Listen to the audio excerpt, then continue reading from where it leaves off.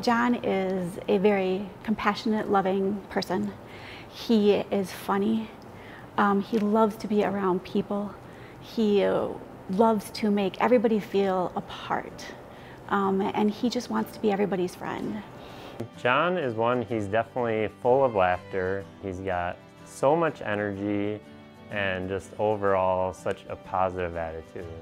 Project Search is a program that allows students who are now adults to find what their strengths are in um, a program or in the job market by allowing them to try different kinds of skills out um, and find what works best for them. Well, Project Search was a program that originated out of Children's Hospital out of Ohio. Since then, it has grown to be in several states around the country as well as now internationally. And it helps those individuals, the young adults that have cognitive skill issues, to um, learn social skills as well as to be gain, learn gainful employment skills so that they can enter the workforce.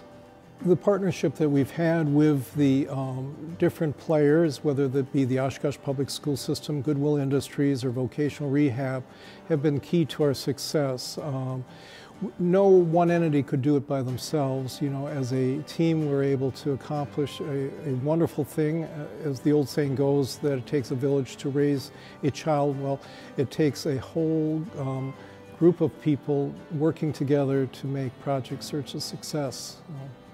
Um, from the start, he was, you know, say like the first month, he was pretty, pretty shy.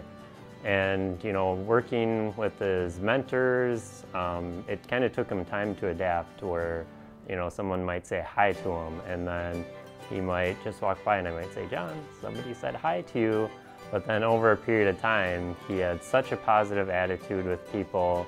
You know, he might get high fives or have sayings like "boom shakalaka" with people.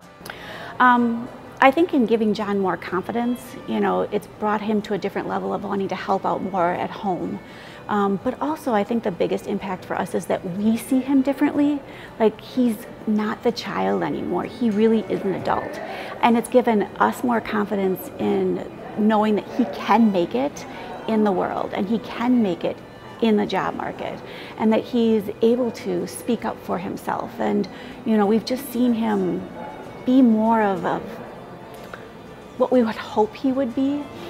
What we do offer is a structured workplace in a compassionate environment where we're able to coach the, the interns and, you know, um, and they, it's, it's great to see them grow. Um, you know, I think we take back more than what they give, I mean, than what we're able to give to them because uh, they just bring such an innocence to the program and they're eager to learn and, um, you know, they, are so deserving of any chance that we can provide in society to um, allow them to live a normal life and to have gainful employment and to be happy.